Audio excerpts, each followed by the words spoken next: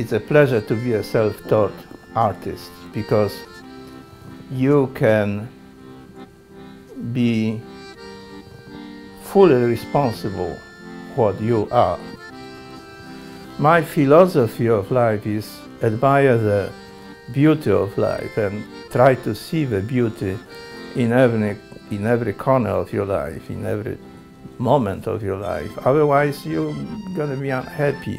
I grew up in different parts of Poland when I was young, but telling grew up, you are growing up up to end of your life if you want to be a successfully and if you want to be a uh, spend your life uh, meaningfully.